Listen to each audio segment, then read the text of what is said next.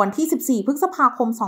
2566 นายกรจติกาวานิชหัวหน้าพักชาติพัฒนากล้ากล่าวว่า ขอขอบคุณทุกคะแนนเสียงที่พี่น้องประชาชนได้มอบให้กับพักและผู้สมัครของพักในทุกเขตเลือกตั้งทั่วประเทศ ซึ่งทางผู้สมัครก็ทำงานอย่างหนัก เพื่อแก้ไขปัญหาให้กับพี่น้องประชาชน โดยเฉพาะปัญหาเศรษฐกิจและปากท้อง นายกรกล่าวต่อว่า แม้ตอนนี้การนับคะแนนจะเป็นเพียงแค่ผลอย่างไม่เป็นทางการ แต่เท่าที่ได้ดูในทุกเขตที่พักได้ส่งตัวผู้แทนลงสมัครทั้ง 105 เขต ก็มีการประเมินว่าจะมีสสมากกว่าปีที่ผ่านมาอย่างแน่นอน อย่างไรก็ตามจนถึงตอนนี้ก็ยังไม่ได้มีการพูดคุยหารือ หรือประชุมกับกรรมการบริหารพักว่าแนวโน้มหลังจากนี้จะเข้าร่วมกับพักไหนอย่างไร เพราะยังถือว่าเร็วเกินไปนายกรกล่าวอีกว่า ทางพักมองเรื่องนโยบายเป็นหลัก และพร้อมมากที่จะทำงานในสภา ไม่ว่าจะเป็นในฐานะของพักร่วมรัฐบาล หรือพักฝ่ายค้านก็ตาม นอกจากนี้ยังขอฝากไปถึงสมาชิกวุฒิสภาว่า ขอให้เคารพเสียงของประชาชนเป็นหลัก เพื่อนำไปสู่การจัดตั้งรัฐบาลที่เป็นประชาธิปไตย